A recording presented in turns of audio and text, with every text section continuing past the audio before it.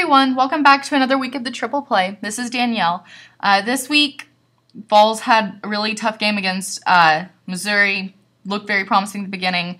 Didn't turn out that way towards the end, but we're going to talk about that. Uh, take a look around the SEC. Not much happened this weekend. Only um, three interconference games, so we'll look at those, look at the NFL. But I'm joined by Sam this week, so let's just go ahead and get started like I said, tough loss for the Vols. They lost to Missouri, uh, 29 to 21.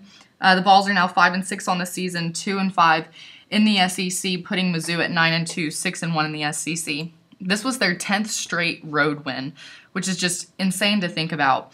But uh, like I said, tough game for the Vols. Josh Dobbs, everybody was thinking that he's going to come out and like be the savior this week. He still had a really strong performance uh, 24 for 37, 195 yards, one touchdown, one interception, but he was sacked six times, which is really tough to kind of comprehend. But 17 carries whenever he's rushing the ball thir- for 13 yards, no touchdowns there. Uh, I think just the story of the game, whenever you look back at it, is just Mizzou's defense, their rush defense especially, was incredible against the Vols. Yeah, I mean the front four for Missouri is definitely their strong suit. Um, you know, their secondary is not necessarily the strongest. The front four and the front seven are what make the impact for them. And really, for me, the big takeaways on this game were five things.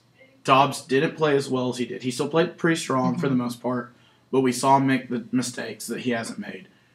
A large part of that is due to the bad play of the offensive line. The offensive line got beat up. Yes, they were playing a really good front front four. And This is the best defense we've faced since Dobbs has come in. Mm-hmm. So I think it showed you a little bit more realistically what Dobbs is really going to be like, um, at least at this point in his career. Uh, the O line got beat up. Dobbs helped cover up a lot of the mistakes the O line had, a lot of their issues that we saw. Worley, without being able to run, it was more visible to everybody. Dobbs couldn't cover that up this time. The wide receivers dropped the ball numerous times. Hurd wasn't able to get a lot of holes opened up for him. He only had 40 rushing yards and 11 carries. Yeah, 11 carries, 40 yards. Didn't re- he got six catches for 40 yards, so his numbers were down in every every category. He's been breaking off big runs. His longest run was only 17 yards. So I mean, it was that, and you just you had mistakes we didn't make a lot of penalties. We were only penalized four. Let's see, where was it? Four times. I'm sorry, five, five times, times, for 40, for 40 yards. yards. But each time we got called for a penalty, it was in a crucial situation, and we had some fundamental breakdowns. The defense got worn out and gave up more big plays yet again. Um, going back to uh, the rush defense that I was talking about with Mizzou, like you said, Hurd was um, contained only 11 carries for 40 yards, but just the way that I mean, like, yeah, their rush defense was really strong, like I said, but just the way that they were able to contain our offense in general. Um, I mean, our going back to the rushing, like I was talking about, 53 rushing yards total for the Vols. Uh, whenever it comes to passing, 226 total there. Um, not too bad. Those are kind of the numbers we've been used to seeing. But for the total yards for the Vols to just be 279, whenever you combine that rush and the passing, it's just kind of hard to believe with 18 first downs as well. Um, offense just, I hate to say that they looked slow, but they did. Like I said, they were definitely contained by the defense. But um, looking over at Mizzou real quick, Maty Mauk, like I talked about on the show last week, he was going to be the nucleus for this team. However, he played would be would reflect onto the team. 12 for 25, 230 yards, two touchdowns. Both came in the uh, fourth quarter. Uh, towards the beginning and middle of the fourth quarter there, but um, crucial timing for those uh, scores. And uh, Marcus Murphy kind of came out of nowhere almost uh, in this game. I know most people that I talk to are really looking for Russell Hansbrough to have a really big day. But Marcus Murphy, 19 carries, 82 yards, two touchdowns there for him. Uh, Russell Hansbrough, 15 carries, 68 yards. The two of them were just dynamic for this game. It was incredible yeah. to watch. Uh, but I think what everybody is talking about with this game, um, of course, the fake kick that we had turned into a touchdown from uh, two players who were both walk-ons, which just blew my mind whenever I thought about it because I saw them on the field. I'm like, this looks unusual. And then, I mean, I don't think anybody was expecting that fake kick to happen. It was beautiful. It was a 31-yard pass from Alex Alex, Alex Ellis to uh, Patrick Ashford. Uh, it was just incredible. Not gonna lie. Uh, great to see, and that put the Vols up ten to seven at that point in the game. Uh, that 11 four, that was 11 minutes and 14 second mark of the second quarter, I believe it was. It was a great play, and I don't remember where I heard it, but I, I saw it somewhere. That's the first time we've run that play since the Missouri game last year. So we've done it to Missouri twice, but um, yeah, great play, like you said. It definitely was a spark. Tennessee showed glimpses of the offense getting going. They showed sparks.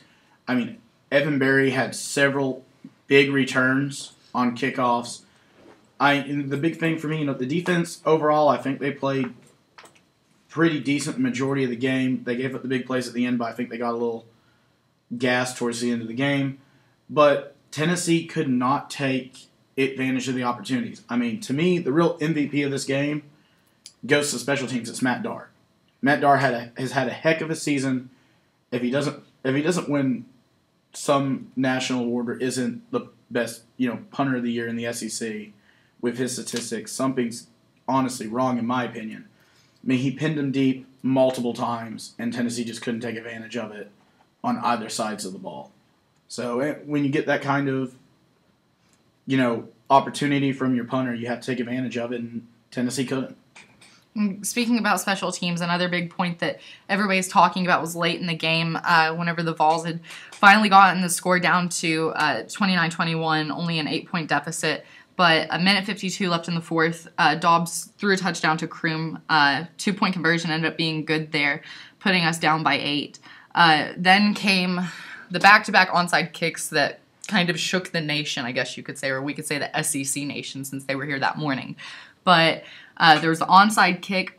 UT did recover it, but then there was the offsides call. And most people are really confused by this. They've looked at the play tape numerous times, and it looks like everybody is in line. But if you look at the picture, it does look that Aaron Medley is above is over the ball, so that is where the offsides penalty came in.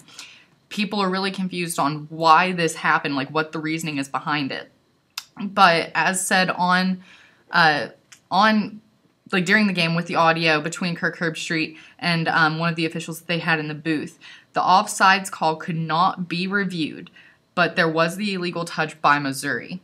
So whenever that illegal touch was shown, then there ended up being that the five yard penalty would come in with a re kick. That's where the offsides penalty would come in. So five yards back onto the re kick, and then they go for another onside kick. The ball was recovered by UT, but there was an illegal touch call on the Vols for not going 10 yards. I, I want to say it only went like eight and a half to nine yards, almost to the 10, but his feet were behind the line, but the ball just did not Yeah. get past the plane. And that's another one where, at least I know I heard a lot of people confused upon too with saying his feet were 10 yards. Yeah, he was behind the 40. But the The ball, ball, was, was, about nine, and it doesn't matter in that situation. It's not Mm-hmm. a goal line play where it matters where the ball, right. you know, where they were. If it was out of bounds, it's all about where the ball is, like it is with a Mm-hmm. Right. goal line. The player doesn't have to cross the goal line Mhm. as long as the ball does. The ball has to go 10 yards in this Right. situation. And he, he was behind the 40, but the ball was about nine, maybe nine and a half. But you can't blame him for going for it there. If he had waited another second, who knows if we got the ball there or not. Yeah, it was definitely a tough place there. Um, but you do have to commend the uh, special teams unit for those two plays. On um, onside kicks are never easy, especially in the SEC. But to have they were really strong attempts. Not gonna lie, the first one looked really good. Um, I know that uh, all the students, all the fans, just Neyland got really. Um, there was so much elec- electricity in Neyland after that first uh, onside kick, and then it kind of just ruined. It went really somber after the second. But uh, overall, good game for the Vols. We were heavily we were heavily, heavily favored going into the game. Everybody on SEC Nation picked the Vols to win.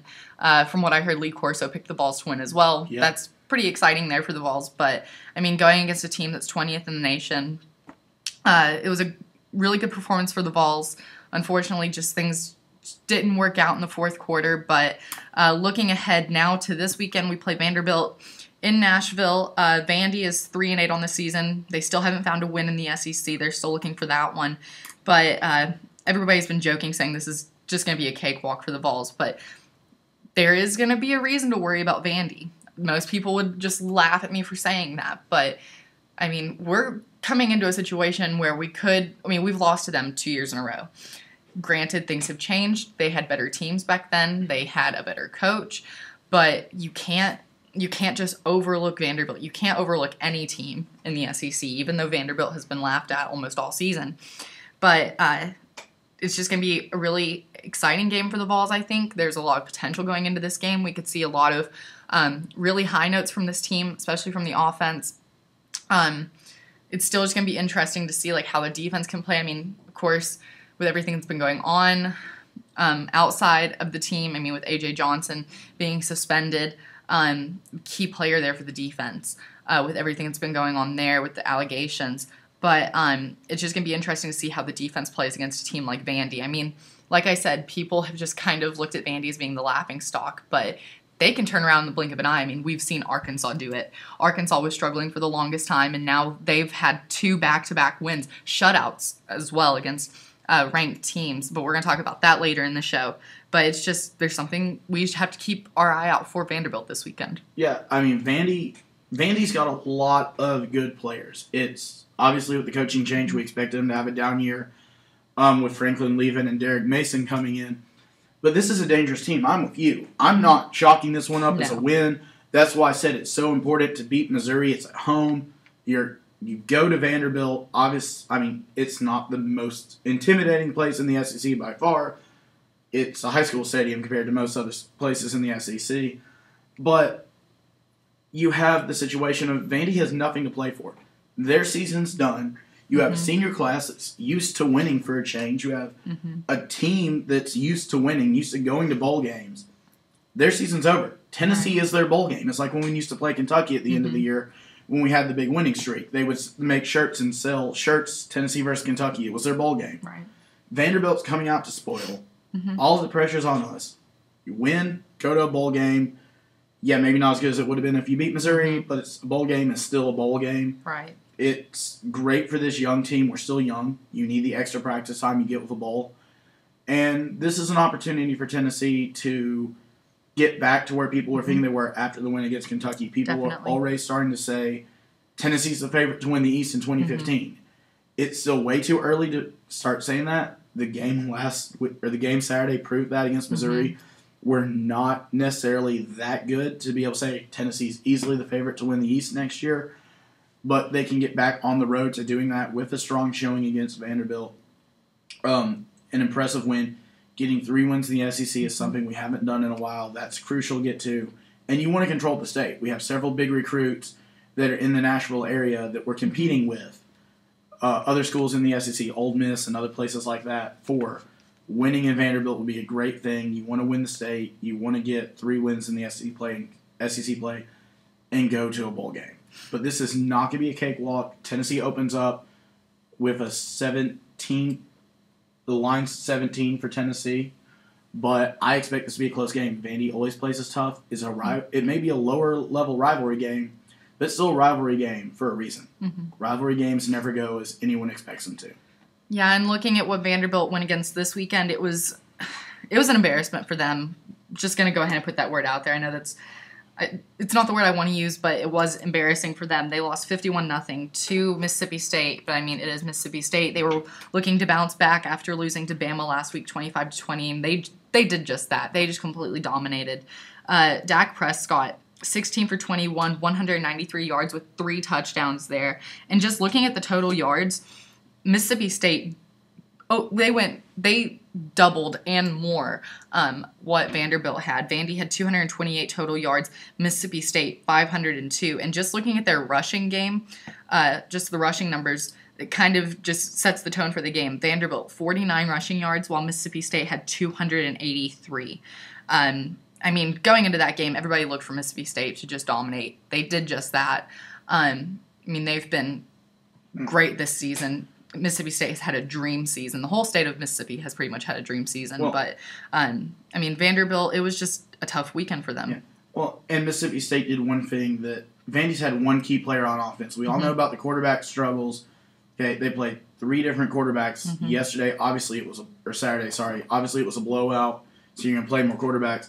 But Ralph Webb has been the bright spot of that struggling Vandy offense all year if he he needed around 100 yards to say on pace with them not going to a ball game for a thousand yard season, They held him to 14 yards on 11 carries. He averaged 1.3. Mm-hmm. He's gotten explosive runs all year. His longest run was only for six yards. And that's something Tennessee's going to have to do. They're going to have to shut down Ralph Webb. Mississippi State did that. And with the way Vandy's played offensively, if you shut down Ralph Webb, there goes their offense. And I mean, let's face it, out, Bama shut down Mississippi State, but Bama is a top four team in the country. You know, they mm-hmm. have it. College Football Playoff Committee has it right in my mind with them being the number one team right now. Of course, we'll see how that changes this week. But Mississippi State is definitely worthy of being a top four team, and you know, you kind of feel bad for Vanderbilt in a way. Kind of feel bad for anybody when they get fifty something points put up on them, but kind of knew it was going to happen coming in, mm-hmm. especially with Mississippi State losing. Yeah. And this weekend, the game will be at 4 o'clock on Saturday um, on the SEC network. So uh, we'll definitely be looking forward to that, see how the Vols do.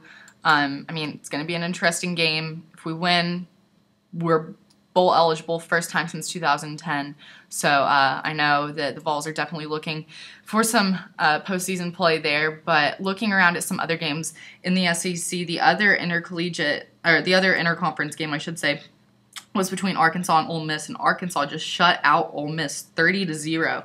I don't think anybody was really expecting this. I mean, last week Arkansas did shut out LSU 17 to nothing, but um, this also was the first. Arkansas is the first unranked team to shut out ranked teams in back-to-back games, so um, that's really good for them. I know they were struggling at the beginning of this season. Uh, I mean, they're six and five overall, two and five in the SEC. So to have two back-to-back wins in the conference uh, not only against the ranked teams like I talked about, but um, definitely like two really strong teams in the conference uh, is really impressive for them.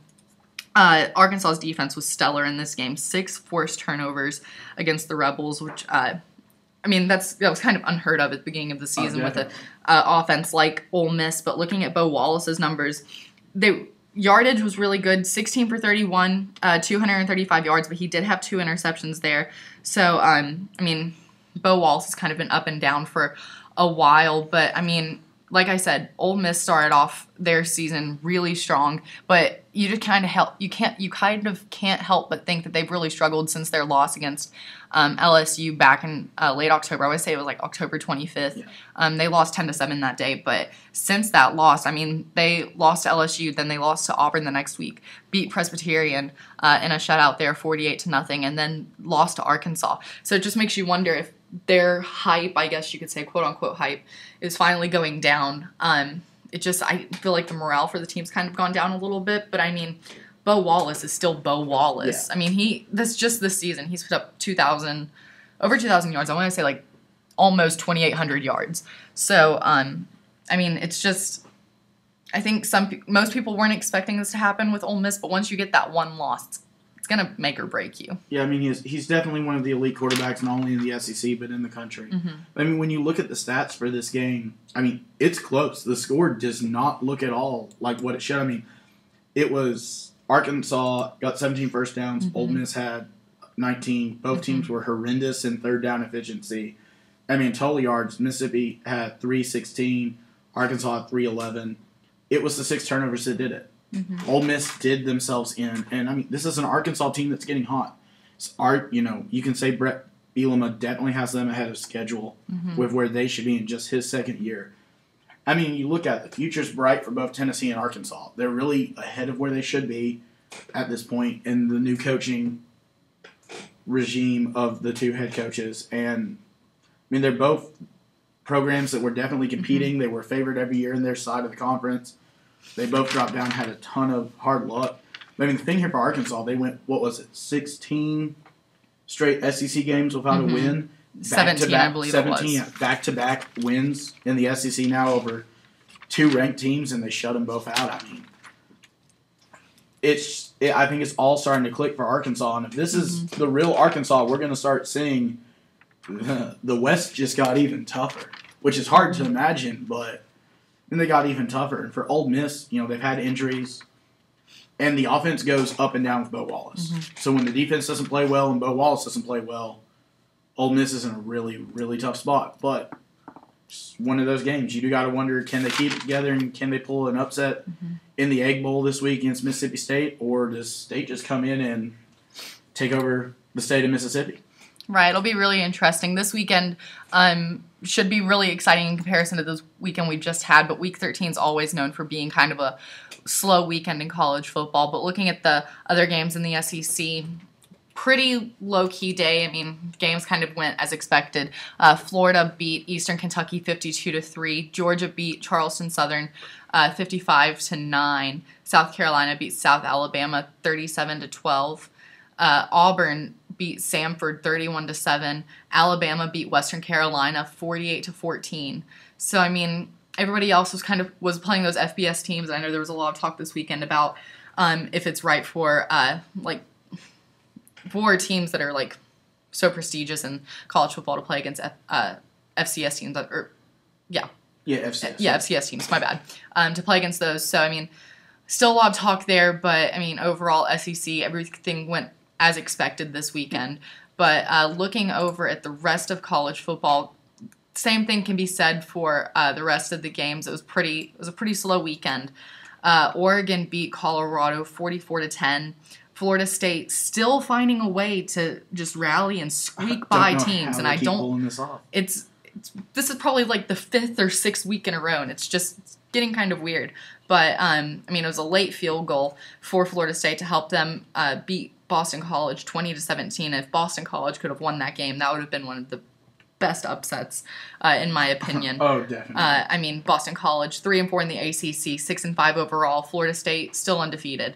Um, looking at some other games, Ohio State beat Indiana 42 to 27. Baylor beat uh, Oklahoma State 49 to 28. UCLA beat USC 38 to 20.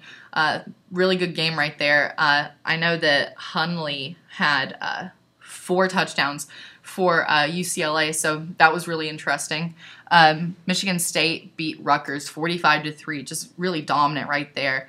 Uh, Arizona State beat Washington State 55 to 30, 52 to 31, I'm sorry. Arizona beat Utah 42 to 10. Really close one between uh, Wisconsin and Iowa, 26 to 24, with Wisconsin edging out um, the Hawkeyes there. Uh, Oklahoma beat Kansas 44 to 7. Minnesota uh, upset Nebraska. I guess you could call it an upset. They were both really low in the AP, but 28 to 24 there. Good win for Minnesota. Uh, Clemson shut out Georgia State 28 to 10. Uh, Georgia State is now 1 and 10 on the season. Um, that's just kind of hard to believe right there for them, but um, I'm still getting used to being in the, the big league of well, I hate to say the Sun Belt being a big league, Mhm. but coming up from you know the uh, FCS, Definitely. still getting used to it. yeah. And then struggling. Yeah, yeah, definitely, yeah. And uh, Louisville beat Notre Dame 31 to 28. Close one there. Uh, that would have been a really solid win for Notre Dame if they would have won. But I know that um, there was a it was a really late missed field goal um, for Notre Dame, but uh, good win there for Louisville. They're 24th in the nation right now. But uh, like I said, nothing too big happened uh, this weekend. In my opinion, I think the Minnesota Nebraska game was probably the most exciting. But um, I mean, the Gophers just rallied there, and that's a really good win for them. But looking at the college football playoff scenarios right now, um, the new standings will come out tomorrow night, Tuesday night at seven. So uh, we'll be looking for those. But just going out of what happened this weekend, I don't see the top four changing at all. Shouldn't. Um, right now, if it were to happen today, it would be Bama going against Mississippi State and Oregon playing Florida State. So I think that those are two really good matchups right there. Who would win? I still don't know. I feel like these four teams are really strong, but I would give Bama the edge. Um, if these four teams were playing fifth and sixth as of last week, TCU at number five, Ohio State at number six. Um, I would love for TCU to get back in that top four position somewhere. Um, I just think they're kind of a dark horse in the nation right now. They they're really exciting to watch, in my opinion. But I mean, if it were to happen today, those four teams, I just I feel like Bama would have the would have the upper hand. I would have to give it to Bama. I think, and and it's been said throughout the last couple weeks, Bama's the most complete team out there. I really do. I think that they may not be the most explosive at times, which has hurt them on the offense side of the ball. But as far as being complete, I think they're the most complete. I will give you a team that could mess everything up though and get TCU back in the top four. That's Arizona. Absolutely. I mean, Arizona, th they can wind up potentially making a push for the top four themselves, and I, that would have been a little bit more viable before they had uh, their loss last week because they're ranked 15th now instead of being in the top 10. But I would not be surprised after they dismantled 17th ranked Utah to see them slide back up closer to the top 10. Uh, you know, if they can, I don't know off the top of my head what the Pac 12 standings are, but if they can get a hold of Mhm. Oregon, they can completely derail Oregon's season. I mean, Mhm. Nick Williams against Mhm. a tough Utah defense, 20 carries, 218 yards, three touchdowns, had a 75 yard run. He almost single handedly for the Wildcats just destroyed Utah. I mean, Arizona is a team that is in the right position in the polls to be able to at least mess things up for Oregon and change the outlook of the college football playoff. And another team you've got to look at is 12th ranked Kansas State. They won a nail biter on Thursday night against West Virginia, 26 to 20. But K State's in that just outside the top 10 range from the Big 12. They're still there where they could potentially mess a few things up for some teams, but we'll just have to see. And um, looking over at the Heisman Watch real, really quick, um, it is coming up to that point in the season. But um, according to ESPN's Heisman Watch right now, top five Marcus Mariota, Melvin Gordon, Amari Cooper, Trevone Boykin, and uh, Dak Prescott. I mean, not really surprised by any of these choices. Three quarterbacks, a wide receiver, and a running back. All five of these players are really strong. I mean, Marcus Mariota has pretty much been at the top the whole season. Um, so out of these five, I don't really think there's a bad choice with the Heisman, but I mean, there's still a whole nother Yeah. week to go, and a lot can happen in that time. But I mean, Marcus Mariota has had the upper hand all season. But I just I look at the list and Amari Cooper, I just feel like if anybody could be the surprise choice, it could be him. I mean, yes, he is the wide receiver for Alabama. He has been just he's been stellar all season. But I mean, I would put my two between my two top picks would be Amari Cooper and Marcus Mariota, but anything is possible at this point. I would have said Cooper Mhm. up until Saturday when he got hurt. That and you don't know how that injury is going to affect him. And it shouldn't. I mean, Right. realistically, you should look at what he did over the whole season. Right. Yeah, I don't care if the guy went out in week seven. If he put up Mhm. numbers that's unheard of, he should still be considered for Right. the Heisman Trophy. But realistically, unfortunately, in the real world, with the Mhm. people who get to vote for the Heisman, if you get hurt Mhm. at the end of the season, it tends to cost you a Heisman Trophy. Right. You know, so I don't. Who knows how that's going to Mhm. happen? How that affects it?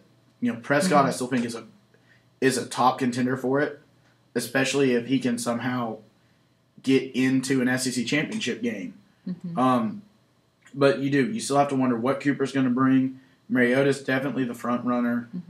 But you know, I running backs have had a way of finding a way to win the Heisman, and Gordon has been on a tear this year Yeah. for Wisconsin. Mhm. I mean, in a year of disappointment for the Big Ten, he's probably been the bright spot Yeah. for the entire conference. Mhm. So you've gotta you gotta take that into some account. Yeah, and definitely. And going back to Cooper, quick note on that. It was just um, Nick Saban said that it was just a bruised knee, and he could have came back into the game. So I mean, I don't really see it being that big of an issue um, with uh, that inter- that injury. Um, helmet to the knee, pretty serious right there. But I mean, um, definitely, I still think there's a chance that he could still be really strong to finish out the season Definitely. whenever they play against Auburn. So it'll be really interesting this Saturday for that game. But um, going over to the NFL, the Broncos, I don't know how they did it. Gotta be honest, I really, I called my mom last night um, towards the end of the game because I was missing it. She told me that um, that the Dolphins were winning. I thought, okay, that's weird. Um, but I mean, the Broncos have just struggled as of late, which is hard to believe. But somehow they rallied, beat Miami 39 to 36. Peyton 28 for 35, 257 yards, four touchdowns, no interceptions. What blows my mind is how him and Demaryius Thomas have found a way to just mesh together. And it's just it's beautiful to be quite honest. Oh, Three is. of those touchdowns went to Demaryius Thomas, and I mean, since Peyton broke the record, Demaryius has become his go-to guy. I mean, that's he's the guy who caught the um, record-breaking, well, yeah, the record-breaking uh, touchdown, and I mean, since then he's just been right there for Peyton. But uh, C.J. Anderson. Uh, for the Broncos, 27 carries, 170, 167 yards, I'm sorry, and one touchdown there. But another a cool little note to look at is how equal the offense was for Denver. 35 uh, passes and 35 rushes. So that equilibrium was uh, something that was expected with the Broncos this week. Um, just really exciting to see, but somehow Denver just pulled out that win. Yeah. Well, and you've got to look. I mean, you know, obviously you can say there's a Peyton Manning factor. Mhm. Peyton definitely did start off slow. He played better at the end of the Mhm. game. And you've got to be impressed with Anderson. I mean, everyone expected, you know, Montee Ball to carry it away. Mm-hmm. Obviously, he got hurt. Then you have Ronnie Hillman get hurt. Yeah. But I mean, Anderson, he started the year, I think, as the fourth string running back. Mhm. I mean, come out and do this. I mean, you, you can now look at he's pushed Hillman out of the picture, and they found their second back to go with uh, Monty, you know, go with Ball when he comes back. But it's amazing. You look at all the wide receivers and all the weapons Peyton has. hmm I mean, we haven't seen uh, Julius Thomas be Mm-hmm. as effective the last couple weeks. Obviously, we know what Demaryius has done, hmm and I think he's been his Peyton's favorite target since he got there. Definitely. Um, Welker has almost been quiet as could be this year. I Mhm. mean, who would have thought Wes Welker wouldn't have hardly anything after the role he played in that team last year? But how about Emmanuel Sanders? Yeah. I mean, he may not have caught the touchdown passes, He's been really strong. but nine them. catches for 125 yards. Mm-hmm. I, you know, yeah, I didn't have the touchdowns, but I mean, arguably that's been Peyton's second favorite Right. target all year long. And he's a younger version of Wes Welker who can Mhm. actually do more and has a little bit better size and speed. So I mean, I'm excited to see what Peyton can do with Emmanuel Sanders because you've got to wonder. You're going to get to that point in the season. You have to decide between the two Thomases. Who do you keep? Mhm. Who do you get rid of? You probably can't keep them both. How much longer is Peyton going to play? Because that determines how much longer you're invested in competing for a Super Bowl versus rebuilding. So you can see Sanders take an even bigger role because Right. having Sanders and the ability he's had, plus the young talent, still having Welker at a high level for a year, 2 Mhm. years, maybe more, could make Demaryius the more expendable option. Yeah. because you don't really have that threat at tight end behind Thomas. But we'll see what happens. Definitely. And going on to another game, Titans are still just struggling. They just can't find a way to click. Um, they had a really close game against Pittsburgh last week. Um, I know for me it was very tough to watch. I really thought the Titans were going to win it, but somehow the Steelers just pulled out that win. But um, they did not find redemption this week against Philadelphia. Uh, they lost to the Eagles 43 to 24. Zach Mettenberger 20 for 39, 345 yards, two touchdowns, and one interception. But I mean, the Eagles just had uh, the advantage the entire game. They took an early lead with a 107 yard kickoff return uh, to start that game um, and just never gave up a lead. And La- uh, LeSean McCoy uh, for Philadelphia, he's been a big name all season. Oh yeah, Uh, 21 carries, 130 yards. Uh, and it is it is important to be noted that Philadelphia had 164 rushing yards total. So I mean, LeSean McCoy, 130 of those yards were his. So that's just thirty-four yards. Everyone else, yeah, and twenty-five of those belong to Sproles. For that matter. exactly. So I mean, it's you know the Eagles. I mean, I hate it. I'm a Giants. I, Mhm. li- I like the Giants. That's my favorite team, along with the Broncos. Yeah, I know. It's weird. I had two NFL teams, but I, I hate the Eagles hmm just because I'm a Giants fan. We all know how thick that rivalry is. hmm But I ain't Mark Sanchez. I said it when he was in New York as a Jet. I said it was more about the system and the coaches he had there than his ability to play. I said, you know, if he goes, he's one of those quarterbacks. If he goes somewhere and he gets that second opportunity, hmm he's going to make the most of it. He's going to prove everybody wrong. I mean, Sunday wasn't his best game. He did throw two picks, but he still went 30 for 43 Mhm. with 307 yards And a Mark- touchdown. And a touchdown, yeah. Mark Sanchez has got this team playing maybe better than they did beforehand. And Yeah. you have to wonder has Sanchez all of a sudden become the guy, even though Nick Foles only lost his job due to injury? Mhm. We've seen it. We see it all the time. A guy loses his job to injury and never gets it back. I mean, this is going to be an interesting spot for Philadelphia. What did they What did they do with their quarterback situation at the end of the year? Mhm. It's a different situation than the Titans have, but they're going to have a similar situation. Choosing between, do we go ahead and make Mettenberger the guy of the future, get him ready, say Locker doesn't work, and what do you do, with Locker? Can you cut him? Can you trade him? Who in the world wants him? Probably he's going to be he's going to have to go somewhere as a backup Mhm. rather than a starter right off the bat. But two teams with interesting quarterback plays. Definitely not the quarterbacks you thought would be starting this game at the end of the season. And neither one of them really played bad. Neither one of them really played that great. It was all spotty. Mhm. But the Titans, they're so close to putting it together. They've got so many pieces. Obviously, they're in the first year of Whisenhunt Mhm. as the head coach. But I mean, when you look at the weapons they have, quarterback's obviously a question, but you have Bishop Sankey. You have Green. You have McCluster, who's a threat to go off at any point.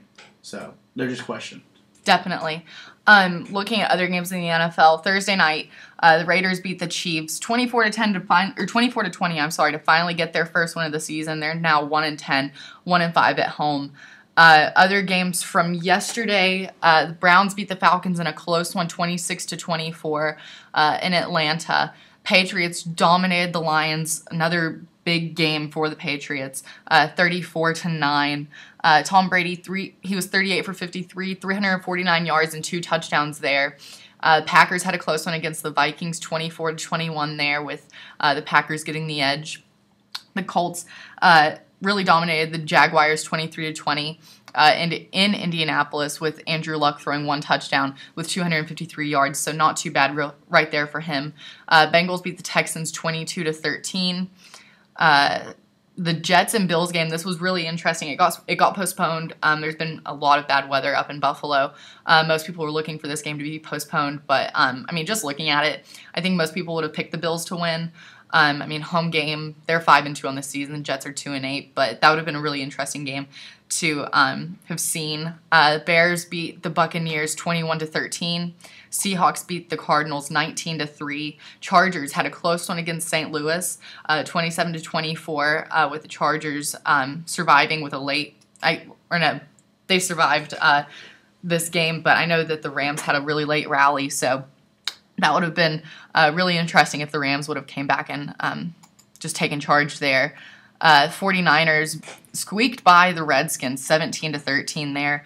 Um, there was a late touchdown for the Redskins. I want to say that was by Hyde. Um, uh, I think it was. Yeah. I think it was. Uh, really good game there for uh, them though, and then the Cowboys barely beat the Giants, thirty-one to twenty-eight. Cowboys are now eight and five, eight and three on the season, five and zero uh, on the road. It's just crazy to think about. Cowboys were down by eleven at one point. Um, I really thought my Giants were going to pull that one out. Definitely. long season. Definitely. So, very interesting game. I mean, kudos to the Cowboys. They're doing something right. But um, very interesting to see. Tonight, the Bills and Jets will be playing uh, at 7 o'clock on CBS. Um, they're going to be playing in Detroit, so it's nice to have them going somewhere else. Um, I still say the Bills are favored to win this one, but um, it'll be really interesting uh, to see. And then the Monday night normal game on ESPN, Ravens and Saints this should be a really exciting game. The Saints have been struggling a lot this season, but I mean, the Ravens, they've been up and down as well, so it should be a really interesting game to watch. And then looking over at uh, Vol Hoops real quick, the men won their home opener against Texas Southern last week, uh, 70 to 58. Josh Richardson had 19 points, eight rebounds, and two assists there and the Vols were shooting uh, 43%. So, I mean, that's kind of low, but I mean, for the beginning of the season, not too bad. They shot 25 for 58, so not bad there. And they will be heading to the Orlando Classic for Thanksgiving, and they will play Santa Clara on Thanksgiving Day at noon on ESPN2. So make sure you check that out. And the Lady Vols are now 4 0 on the season. They beat Winthrop on Friday, 81 to 48 kind of shocking to see because we're so used to them scoring 90 or more points in Definitely. the first three games. But I mean, Ariel Massengale, 20 points, zero rebounds, and one assist there from her. But um, the Lady Vols will take on Tennessee State tonight at 7 um, here at Thompson-Boling Arena. So that should be a really interesting matchup. It'll be exciting to see how many points Lady Vols put up tonight. But I mean, Definitely. can't really look past Tennessee State. I mean, They're we don't really. Team. They are really decent. We don't hear much about them, but I mean, they're fun to watch. I've watched some of their games and they're pretty exciting. And why not come out and cheer on the Lady Vols? Get a nice student section there tonight, seven Absolutely. o'clock. I mean, it's a Monday night. Come out watch the Lady mm-hmm. Vols. They're definitely on fire. Massengale had like five three pointers in a row. Yeah. Mm-hmm. Against Winthrop the other night. I mean, yeah. you know, it's an exciting team to watch. They're more complete than they have been the last couple years. Definitely. And so that's it for this week. Next week, we'll wrap up uh, the semester while we also wrap up college football. Uh, kind of bittersweet, but it's been an exciting season, exciting semester. So make sure you you join us next week.